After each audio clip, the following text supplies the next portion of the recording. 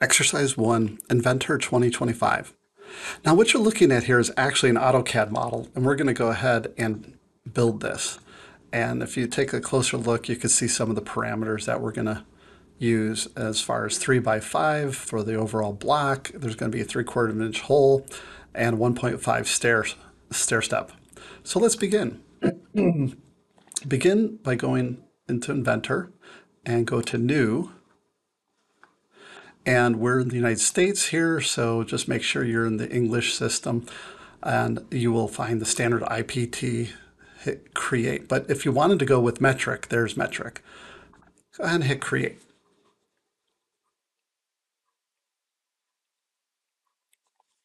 The first thing I want to show are some of the settings. If you go to File and go to Options, the Options menu will show up and it looks like this. And in it, there's all sorts of things you could change and adjust. what we're looking to change is actually the colors. And as you can see here, there's some different options. I like the presentation setting. And also, as far as the background, I just like one color, it to be white. You get to choose whatever you like, but you'll see there's lots of different options in here as far as colors and such. I'm going to go with this one and hit close. You're welcome to do with whichever one you want, but just note that your colors might be different than mine.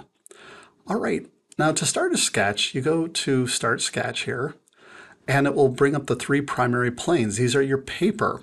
There's the XY, which is basically your front plane. There's the XZ, which is your right plane, and the X I'm sorry, that was the uh, YZ, and then the XZ is your top plane.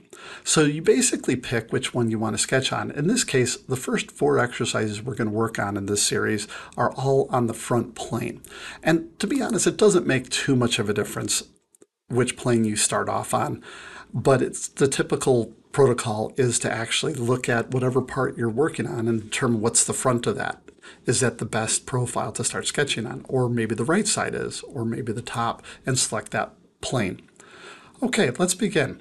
Now, you'll see up here, we have all the toolbars. if you want to be a more advanced user, you have the ability to minimize these things just by clicking and cycling through. If you accidentally cycle through, this is the button that will get you back to where you want. Now, over here is the browser. In this case, it has the model tree on it, and our sketch has already started.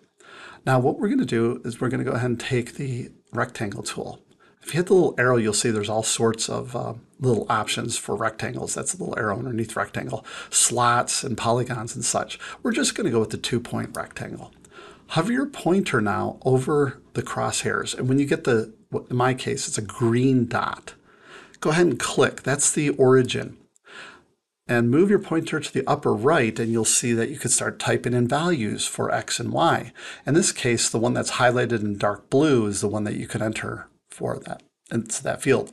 So we're going to change that to 3. And you don't have to type 3.00 or click in there. You just type 3. And then to cycle to the next dialog box, hit Tab on your keyboard. And go ahead and type in 5 for the height and hit Enter. And now to zoom to fit, click on the rotation box right here in the upper right corner, and it will fit that to the screen. And hit escape. And the escape key on your keyboard takes you out of whatever tool you are in. And now you could actually move these around. If you have the wrong dimension, just simply double click and you could type in a new dimension and hit the green check and it will adjust. Um, the undo button is right up here if you want. You could hit that and that will take you back down to five or just double click on the dimension and change it again go ahead and go to 3D Model and go to Extrude. Now, click on this little home button in the upper right here, and that will zoom to fit an isometric view for us. Now, you'll see you also have this dialog box that has popped up, as well as you have a handle. If you click on the arrowhead, you could conceptually adjust this. And it's great, like I said, for conception. Uh, but uh, anyways, we're going to go ahead and type in a value. Go ahead and type in 0.5. There's all these other tricks where you can reverse it or go in both directions and so on and so forth. We'll, we'll look at those later. Hit OK. Now go ahead and select this face and you have the ability to edit the extrude depth, edit the sketch with those dimensions, or share it, which is basically like copying it. And what we're looking for really is just create sketch. So go ahead and select create sketch. And I'm going to go ahead and click on front here to center it again. And we'll use the rectangle tool once again. There is a line tool if we wanted, but rectangle in this case is just quicker and easier. So let's select, that. Hover to the lower left corner when you get the dot that appears, click, and move your pointer to the right. Now you could snap to this edge and click, and then you would later have to put a dimension for 1.5, or you could set it to 3.0 and 1.5. The thing is they won't be linked then, and if you change the block behind there to four inches, this will stay at three. So we actually want to link it to this edge, so click on that edge. And then go to the dimension tool and select this line here and this line here. And we're just clicking and move your pointer to the right and click again and type in 1.5. So there you could see where we could actually add in dimensional values. You could also add constraints, like these are common elements of geometry, perpendicularity, horizontal, vertical. You could lock things in and tangency and so on and so forth. We will look at those in the future. Let's go ahead and go to 3D model and extrude again. Now, it allows us to extrude further, and it also remembered our last setting of 5.5, which is a half inch. That's actually exactly what we want in this case. So you could just go ahead and hit OK, and it merges the two blocks together as one, and we have our monolith stair structure as you see here. Okay, now we want, I want to show you how to put a hole in here. Now there is a hole tool, and we'll get to that in a few weeks. But right now we're just going to, I want to show you how to draw geometry to remove material. So select this face that we want to sketch on. Notice you don't have to select the planes. By the way, just to show you this, if you hit the little plus symbol to the left of the origin, you will actually see those planes we saw earlier. And you could select from this list to start sketch. So like if I click on it, you'll see there's a little option to start sketch, which we don't want to do that just yet. But once you have a model and it has flat surfaces, you could sketch on any flat surface. So click on this face and go to the little green plus symbol here to create a sketch. Click on the front box and go to circle. Now, again, there's different types of, there's a circle, there's ellipse. We'll go with center point circle. Get to the upper left quadrant of this block, about where mine is, and you'll see the X and Y should be about one in the X and four in the Y, roughly. Click, drag out the circle, and go ahead and type in 0.75, hit enter. Now we need to locate that accurately and we could use the dimension tool to do this. Click on dimension, select the center point of the circle, and we want to measure it off of this edge. So click out to that edge and move your pointer up here, center the dimension. Those of you who haven't taken a dimensioning class have a tendency to do this or this. You put it on edges get it out in the open. This is a language you want to be able to read it easily. So make sure that you could see them. And one way is by centering them between what they call the extension lines or those arrows that you see there too. Okay, hit enter. We're still in dimension. Now we can select the top edge and measure the center point from there. Click. And then move your pointer to the left and center the dimension. Click, type in one, and hit enter. We're ready to extrude. Go to 3D model, click on extrude. And now you have the ability, notice it goes forward and it's adding material, but watch this, if we drag it backwards, the AI knows that there's a solid structure behind it, so it automatically flips it to cut versus join. So in this case, it actually does a nice job for us. However, there's one better we could do. We could select through all to ensure it always goes through backwards. And we could have flipped it this, this way too, but anyway, let's go ahead and hit OK. And so now we have the base structure. Let's go to fillet. Click on fillet and set the fillet to one for one inch. And now hover over the edge that you would normally hit if you had a file in your hand and you were going to file this down to round it. Click on that edge. Now go ahead and click on this edge. And those are the only two I want you to do right now. Hit OK. And now you can see that's how we put a fillet in. Let's go to chamfer. Click on chamfer and set it to 0.125 in here. And notice you could go distance to distance, angle to distance, uh, and two distances. And basically, we're going to stick with this, the distance, which will make equal distances. And on a 90 degree angle, it's going to make it 45 degrees for the chamfer. So select this edge, and now go ahead and select this edge. And you'll see they will follow along the filleted edges, but they stop at sharp edges. That's because it's it's taught to basically follow the tangent edges. Go ahead and hit OK. Now to rotate, you could click on this block and click on faces to rotate it however you want. There's even clockwise and counterclockwise that are here. There's the home button. But if you want to rotate dynamically, hold the shift key down on your keyboard. Get your pointer in the center of the screen. Hold the wheel down like it's a button. Yes, push it down and move your mouse left, right, up, and down.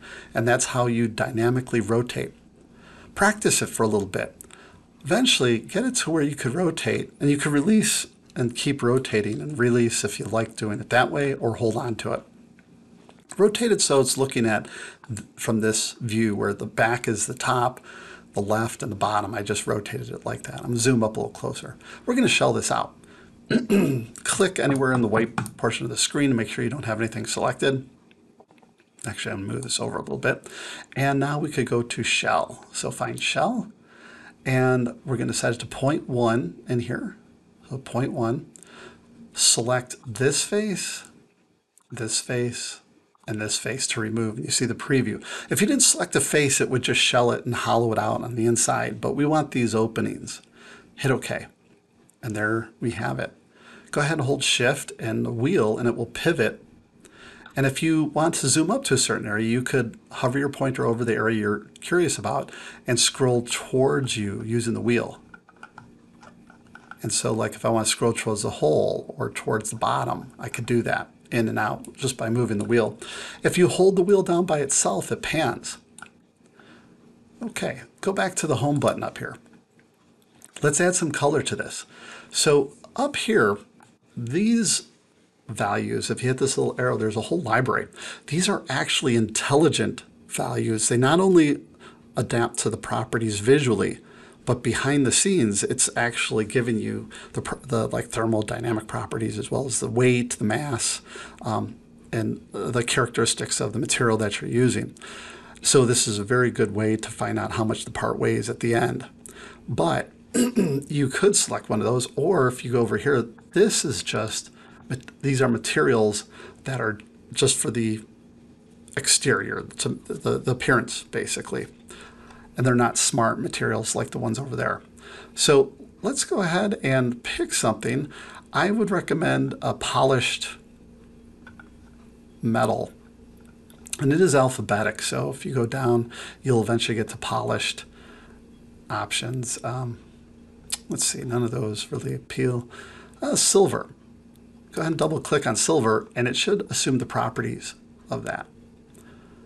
Now, if you want to go even further, you could go ahead and select surfaces. If you hold control on the keyboard, you could select certain faces of the, of the fillets and even the hole and now go to that button there and pick something else like maybe um, I want that to be dark forest green and so that's how you could apply to individual faces.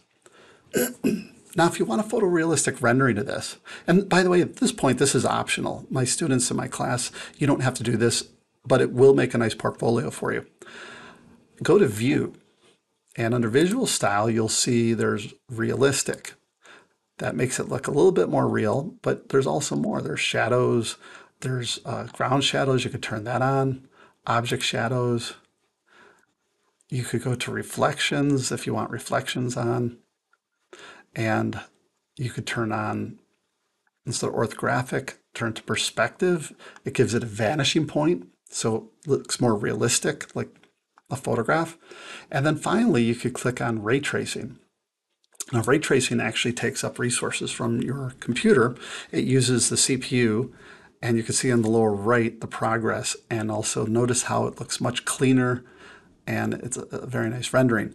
Now you have the ability to hover over this area down here and select draft or high quality. I have it on low and it still looks pretty good.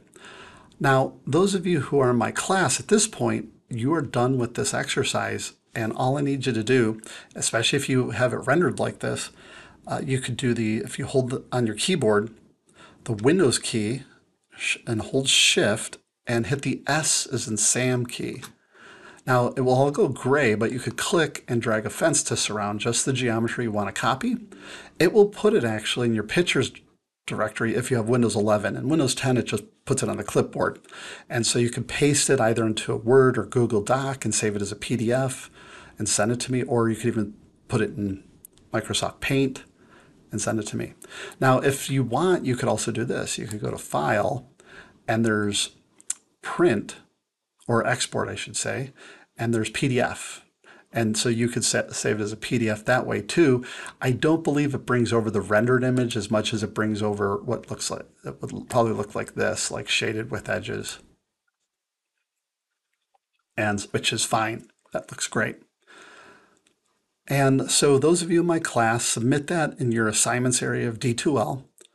And then uh, as a PDF, preferably, don't send me the part file because part files are very large. They'll clog up my system.